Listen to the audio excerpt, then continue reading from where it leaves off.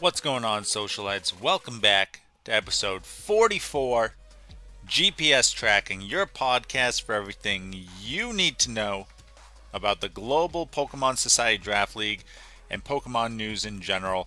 We got a good one for you this week.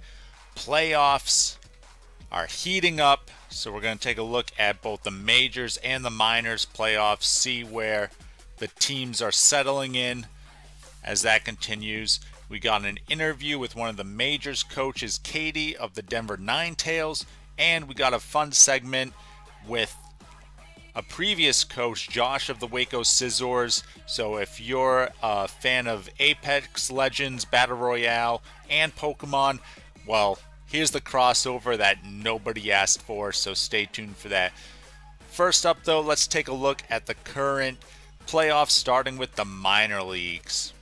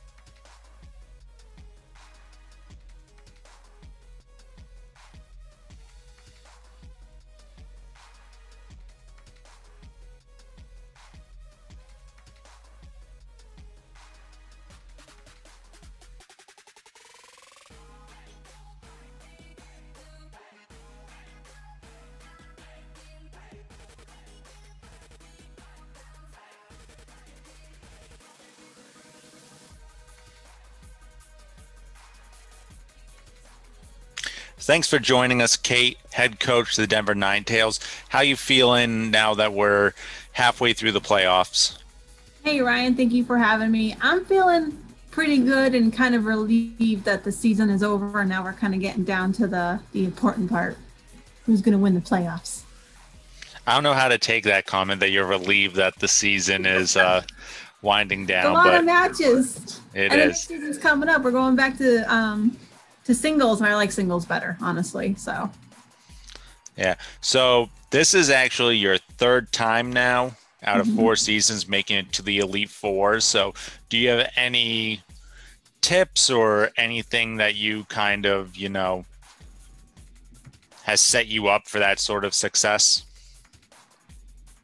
Um, I think know your team, obviously, but don't be afraid to, to trade Pokemon. I feel like a lot of people are hesitant when it comes. Some people, some teams are really great about making switches as the season goes on, and some teams not so much. I think it's it's important to adapt your team as you go and kind of take a look at who you think or project might go into the finals, and sometimes making trades based off of future matches.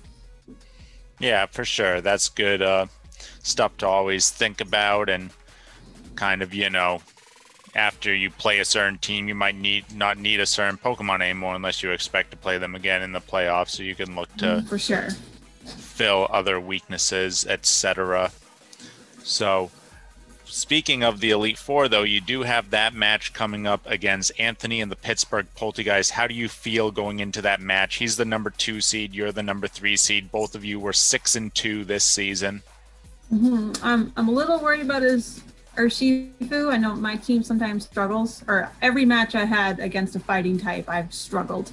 So I think that that we, you know, I have a game plan, but I think it will give me a run for my money for sure. And uh, as long as I can break through that, I think I'll be okay. Yeah.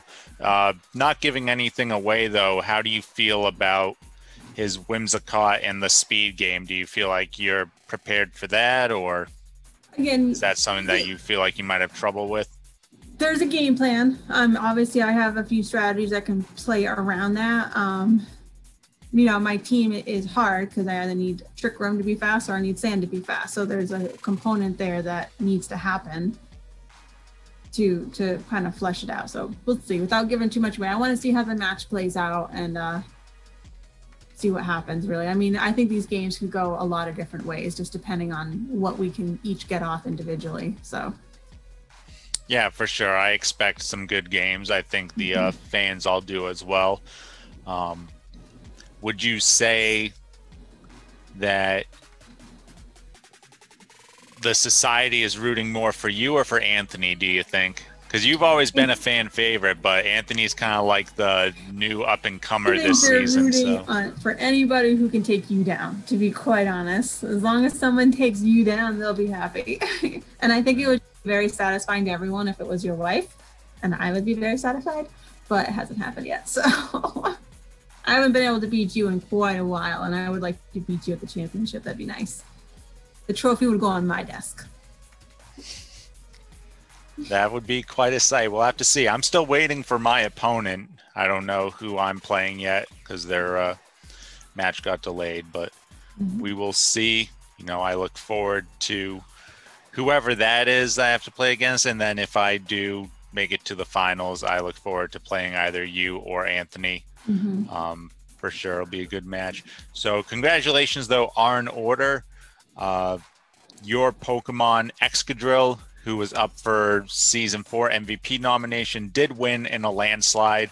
Everyone else had one or two votes, and Excadrill got a bunch more than that. So, congrats on Excadrill. You said you want an Excadrill plushie. I want an Excadrill um, plushie. I don't think I that's a lot to ask for. That. you know, prize. I'm I'm good at giving away prizes, just not in a timely manner. So give me time to uh, find and procure and everything. But I, I will look into that good. for an Excadrill plushie. But, yeah, uh, I didn't expect Excadrill to do as much damage as he did this season either. He he definitely dominated, and I pretty I brought him to every single game I played. So yeah, for sure. Yeah, for sure. Sand, if teams aren't prepared for it, it can definitely just take a lot of stuff down. Um, I do think Anthony will be prepared for it. He's shown mm-hmm. in previous games against Weather that, especially as Whimsicott has certain tricks. So it'll be a interesting battle if, if that's how it goes. But I'm sure it will be a speed game mm-hmm. coming down to it either way. So I'm sure both teams will be prepared for that. So you said that uh, you were looking forward to singles. Any reason in particular going back to singles next season?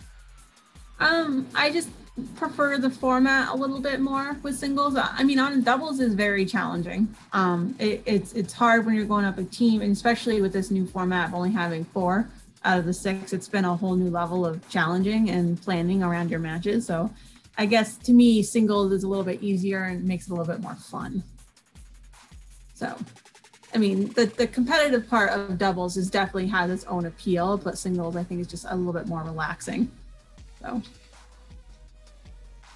yeah. Yeah. I'm just, I'm, I'm just letting you letting you talk about that. So yeah, I mean, I, I can agree with that. I think both of them are, you know, difficult in their in their own rights, but it's definitely um, positioning is a lot easier in singles I would mm-hmm. say. So it's easier to make adjustments throughout the game than in doubles. You make the wrong move or adjustment, and then you're way, way, way behind, and you probably mm-hmm. lose because of that. But uh, that is why we do best two out of three for doubles and uh, only a one of in singles. So mm-hmm. you kind of have a opportunity to adjust to that in the doubles metagame. So I guess uh, before we close out this interview, Katie, I will say we do have a lot of coaches returning to the society and new ones coming next season. Uh, how did you feel of the competition overall this season with the major minor split and the new coaches? And do you feel like, you know, I don't know how to word this properly, but is new blood or returning blood going to be uh, better for the majors as well? How do you feel about the competition level and everything? I actually I thought it worked out awesome. I think there might have been a rockier start in the beginning while all the new coaches were kind of get their feet under them, but like Tokyo did fantastic this season, and I hope are they coming back next season? Because they yeah. they showed a huge level of improvement, and I can just imagine what they'll bring to the table next season. And I thought the whole minors league was great to kind of get the base of how to plan your team and how to do strategize for battles for a lot of people. And we saw some great up and comers in the minors division that I think will be really great for the majors. So I mean, even the Psyducks, he had a huge blossoming this season compared to the previous one. So I think we saw a lot of growth in our members. Yeah, for sure. I, I can agree with that with several of the coaches. Um, speaking of the minors, uh, myself and the uh, future rules committee are looking to expand the uh, role in the minors. I didn't have as much time to put into it as I would have liked. So, if you are a current coach for the society and you're interested in joining the rules committee for next season, and further to that point, if you're interested in doing more with the minors, kind of being like a minors commissioner uh, definitely let me know if that's something that you would be interested in because I need somebody to be a little more hands on with that. Yeah. As the society grows too, it might not be bad to have a co commissioner. Uh, no, no one's equal to me. You're just a I'm minor. busy with the Instagram account, so I have no time to be a co-commissioner. Yeah, yeah, yeah. What? Uh, let's check out our Instagram account. See when the last time something was posted on there. Well, I bet you I could get let's followers in the next week. How many followers? I think the last time something was posted was Pokemon Day, which if someone has not checked out that post, they should. Oh, you changed the uh, thing, right? It's not Pokemon 5S anymore. It's Pokemon GPS, I believe. No, I don't think so because this is Pokemon GPS and this isn't us. um, anyway. Oh, well, oh, Global Pokemon Society. We'll get there, folks. We'll get there. Should be under your just likes. You should be able to pop right up. Well, I used to have it saved under favorites, but I had the old URL saved. Okay, let's see. Yeah, th- this was on Pokemon Day. Great picture, but that's though. gold. That's gold right there. Yeah, four weeks ago. what have you been doing? You had a bye week and everything. Get back on that content train. We'll get back to it, especially with the new season. Fresh start. We get the Instagram going. There you go. All right. Well, thanks for joining us, Katie. Good luck in your match against the Pittsburgh Poltergeist. Anything you want to say to your fans for this season? No, oh, thank you for all your support and watching all the videos and make sure you like and subscribe. Talk to you next time. See you. Hey, socialites. I'm joined by Josh, head coach, the Waco Scizors, and we got a fun segment for you here. As you all know, we can't be playing Pokemon all the time as much as we would love to, right, Josh? We we have other games that we're interested in, and Josh and I in particular put a lot of time into Apex Legends, the Battle Royale, which is available now on basically all consoles. You can even play it on the the Switch when you're done playing Pokemon if if you so choose. And we were talking and we were thinking like, okay, what if the Apex Legends the characters in the game had their own partner Pokemon to like use in the battles, or maybe they're in the Pokemon world. Like we don't know what we didn't really say which world they're in, Josh. Are they in the Apex world or the Pokemon world? But like who would be their perfect partner? And you know, there's some there's some overlap here in Apex Legends. You got to catch them all, all the legends, uh, all the uh, all the loot. You know, it's it's a match made in heaven, really. Yeah, for sure. You're you're hunting down that next big loot, that next legendary item. So for sure. Unfortunately for the legends, it's kind of a you, you got to pay some something or at least grind a lot. So I, I, I guess that's kind of like maybe like a raid battle or something. You got to grind through the raid battles to get the legend that you want. So let's hop into this video, Josh, and break these down. First up, we have Bangalore an offensive legend, Bangalore is most known for her smoke grenade tactical ability, and who better than Magmortar, who evolves from Magmar, one of the original smokescreen users from Gen 1. Magmortar also mortars in the name rains down heavy artillery and that is bangalore's ultimate sweeping the battlefield with heavy artillery pushing back her opponents. So it just makes sense right? Bangalore and magmortar here well, she's popping smoke, and Magmore is popping smoke. Next up, we have Bloodhound. Uh, and who better to go along with Bloodhound than Corvisquire? I mean, look at that Raven on Bloodhound's shoulder. Uh, Corvisquire is going to fly over the battlefield, going to spot opponents, just like Bloodhound's tactical ability. Uh, going to find those footsteps, you know, right ahead uh, of uh, a Bloodhound as well, just just like the little ravens that fly away when Bloodhound's running around. And of course, when Bloodhound uses their ultimate ability, um, you're going to get Corvisquire to turn into Corviknight. Corvin Knight's going to fly around and get you even more info. No wonder Bloodhound moves around the battlefield so fast when you have that ultimate ability going. Um, Corviknight known for its traveling abilities. Uh, so Corvin Knight, Corvisquire, Bloodhound's OP. Next up, we got Gibraltar, who's best known for his dome ability as well as his gun shield. So we had to look at a defensive dome like Pokemon. Hey, we got the Turtle Blastoise. Gibraltar's pretty basic as well as far as legends go. So he gets one of the starter Pokemon. Blastoise also has those cannons, and the G-Max form gets G-Max Cannonade, which goes nice with Gibraltar's ultimate, which is a tactical barrage. So you got a nice mix of defense and offense. Next, Lifeline. Lifeline is known for her support, her reviving teammates, her throwing out her healing drone. And what better Pokemon to go with this than Blissey? Chansey was always that nurse in the Pokemon centers in the anime. Blissey is the next step up, even more uh, of a healer than than than Chansey is. Um, I would love to get soft boiled uh, by uh, by some Blissey drones, right? Um, and that goes just along with Lifeline's uh, Lifeline's powerful abilities.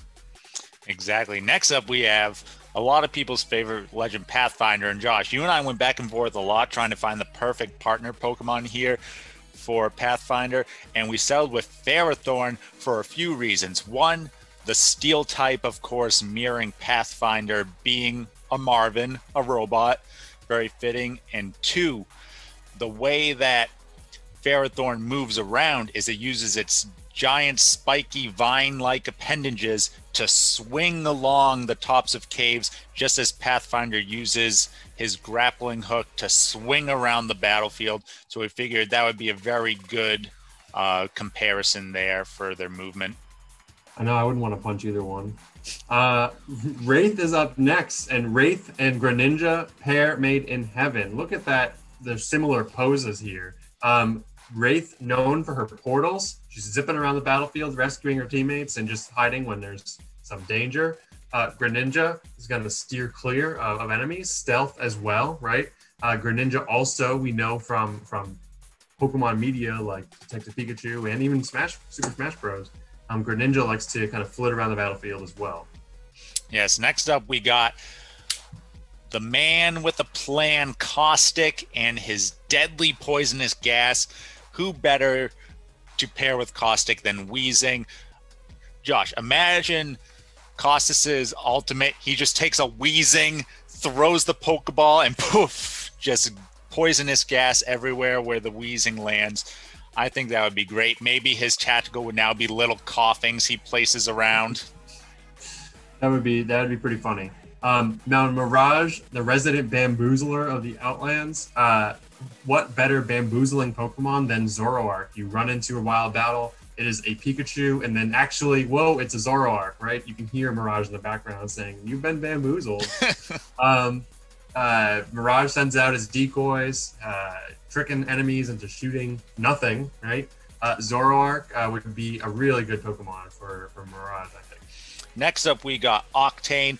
And of course, Octane's all about the need for speed. So we knew we needed a speed boost Pokemon. And Ninjask is just perfect. Look at his face. He's got the goggle like eyes, he's got the face mask. Just perfect. Ninjask can move faster than the eye can see. And sometimes when I'm chasing down Octane, I feel like he's moving the same way. That's that. I feel that too. And the flying is kind of like the bouncing and the double jump with Octane. Yeah. Um, all right. Watson, the, the, engineer of Apex Legends, she created the the the ring, right? The the ring that you have to get into the zone, and that's why we have Magnezone here um, as another electric uh, engineering type Pokemon. Um, first of all, they would be really great. Instead of throwing out her pylon, she can throw out a Magnezone. He can do the same thing. Look at that little tower on his head. Uh, electric attacks, uh, that's her static electricity. Um, I feel like uh, Magnezone, they would be really. She, she could he could power all of her barriers for her. For sure, for sure. And next we got the hacking legend Crypto with his little drone hack. Now Crypto might need a buff, Josh, in Apex Legends. And what's a better buff than a Rotom taking over hack and flying around shooting electricity out? That'd be crazy. So we gave Crypto a Rotom, the Pokemon known for taking over electronics. What more could a master hacker want than a Pokemon like that? And you know, in Sword and Shield, there's already Rotom flying around in little drones, so it works. Um, Revenant and Runerigus, they're they're really well together for for a number of reasons. First of all, Revenant holds grudges uh, for all the people that wronged him in his life, uh, or many lives. Runerigus is the grudge Pokemon. Um, Runerigus has this ability, Wandering Spirit, that, that, that cancels opposing Pokemon's abilities. Revenant's tactical ability, canceling uh, opposing Legends abilities. And then they're connected through their, their loss of their past life uh, in the form of Yamask. Uh, and Revenant's kind of re- reincarnations. Exactly. Next, we got the greatest thief in the Outlands, Loba. And what does a thief need but a trusty Thievul? Thievul's the only Pokemon in Sword and Shield that learns the move Thief through level up, so it's a natural thief. You see that little mask. It also has a tail that sweeps away its footprints as it goes. That could be an interesting buff to counter Bloodhound if Loba could sweep away her footprints with her Thievul. Rampart and Mr. Mime. Imagine this. You are running across the battlefield. Suddenly a turret springs out of nowhere and shoots at you, but you can't hit it. That's because Rampart's thrown up her Mr. Mime barrier in front of that turret. Um, just like Rampart's normal ability, her normal tactical ability to throw up those those uh, those barriers, right? Uh, Mr. Mime, known for making barriers. Look at him right there. He's he's, he's touching one. Uh, he's gonna throw those up in front of her way faster than Rampart's barriers could ever go up. She's gonna be a bullet hell Exactly, not breaking through those screens.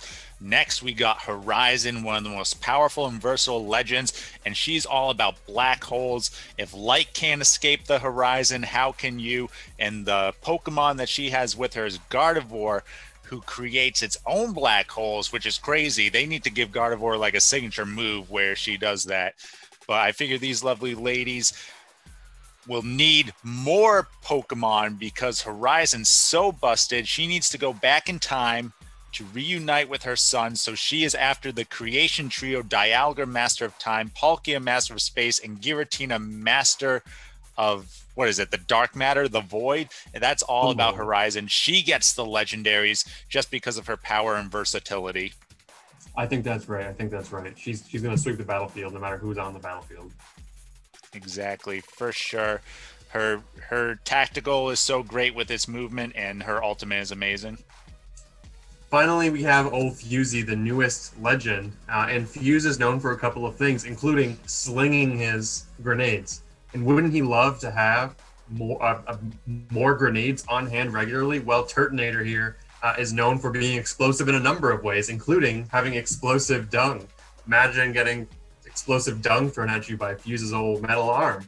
Uh, in addition, uh, is known for being explodey, uh, thanks to uh, thanks to its unstable compounds making up its shell. That fits really well with Fuse's all uh, whole explosion uh, nature. Exactly. So that is all of our legends from Apex with who we think their partner Pokemon would be. If you play Apex Legends or if you're familiar with it and you think there might be a different partner Pokemon that would go good with maybe your favorite legend, make sure you comment down below and let us know. And Josh, before we end this segment, we got some big news to announce, right? Yeah, we do. Yes, that's right, folks. For all you Waco Scizor fans, Waco is coming back to the Global Pokemon Society. They are going for the Major League title next season. Let's go Waco. Comment down below. Let's go Waco. What what was your old saying, Josh? Was it like swords dance up or something? Something like that, yeah. Yeah, swords dance like nobody's watching, scissors. Let's go.